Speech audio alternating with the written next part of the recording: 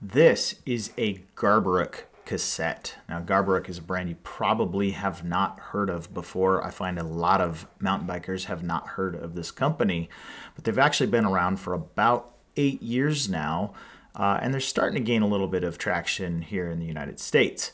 This is a Shimano 12 speed micro spline that I'm going to be replacing. Uh, on my bicycle, uh, they come in all different colors. Uh, this one I got with the Big Cog anodized red, which you can see there. What's awesome is these are a two-piece design. Uh, the whole silver area here is uh, one piece of steel that's been machined out, and then the anodized red on the back uh, for the large 52 tooth cog is machined out of aluminum.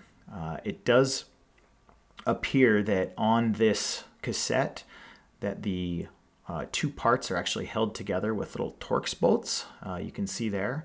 So uh, I'm making an assumption that you can just replace the large aluminum cog uh, when and if needed. Now I'm going to be using this cassette to replace my current uh, XT 12 speed that I have on my bike there.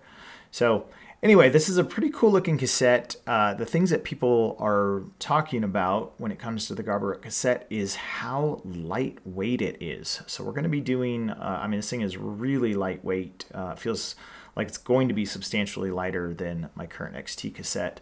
Uh, so we'll do a weight test uh, here in a moment. Now, one of the other things I went ahead and did was I ordered a set of matching jockey wheels at the same time. Uh, these are also anodized red. They come in a bunch of different colors. These are 14 tooth each, so they are a direct replacement uh, without having to change anything else out on my current derailleur. So those should go straight onto the 12 speed Shimano derailleur. Okay, so there's all the components. Let's go ahead and pull my old cassette off and then do a little weight test here. So we'll quickly get the old cassette off. Now, You'll notice right away there's a lot of parts on the old Shimano cassette, but there's all the pieces. We're going to go ahead and throw that on the scale and see where this all tips out. Okay, so that's all the components. Oh, except uh, I forgot the lock ring. So we'll go ahead and grab the stock lock ring and throw on there. So we are at 471 grams. Okay, so that's the stock Shimano XT 12-speed microspline cassette. 471 grams. The Garbaruk, we're going to put on there. And holy crap, it's 351. Add the lock ring, 356. Wow. So, man, that is a substantial weight difference.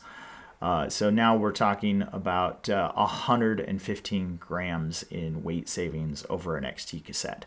Now it's not going to be as dramatic for something like an XX1 or a XTR, but still that's a lot of weight savings. So the install to put this on the bike, it's incredibly easy. Obviously, microspline, you just have to line up that one fat key in the right spot, and this whole thing just slides on. There's a new lock ring that comes with it. It's also anodized to match.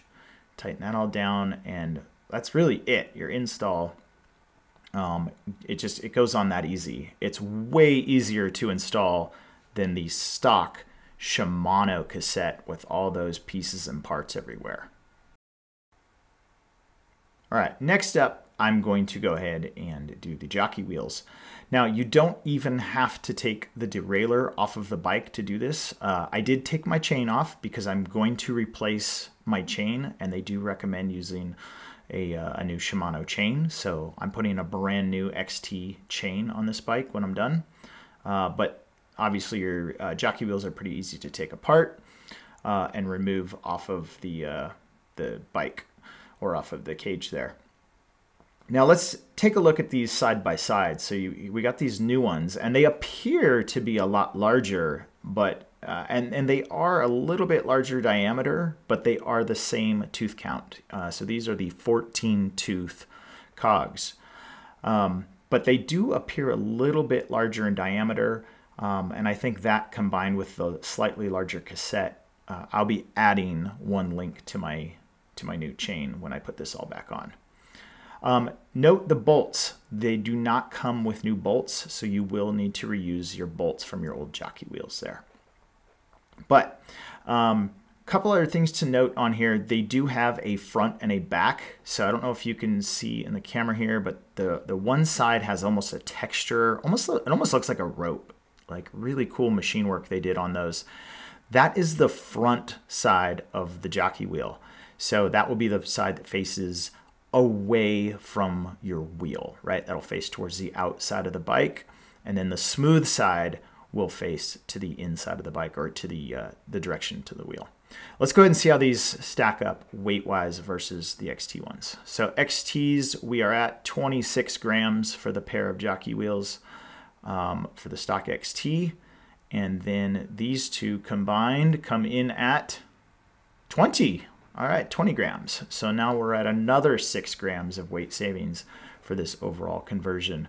So that's bringing our grand total to 121 grams less weight. Now, I'm not a total weight weenie, but weight savings are nice, um, especially when we're getting more range and some pretty cool aesthetics out of this setup. Really? That sounds pretty good. Okay, here we are, all done with the install. Got both jockey wheels updated, got the cassette on, got the brand new chain on, and uh, had to make a couple of adjustments, but so far it seems to be shifting fairly well.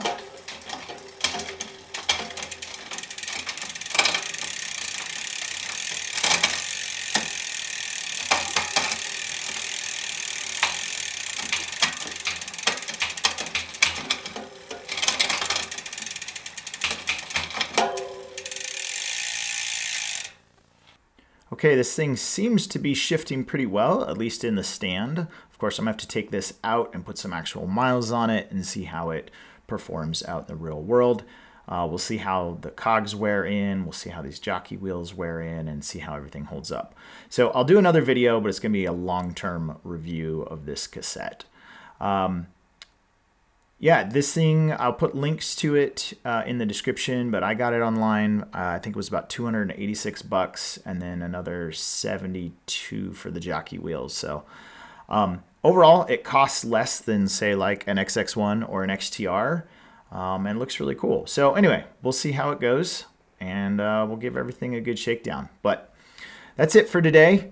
Uh, hit me up with questions or comments uh, in the comment section. And as always, Thanks so much for watching and have a great day.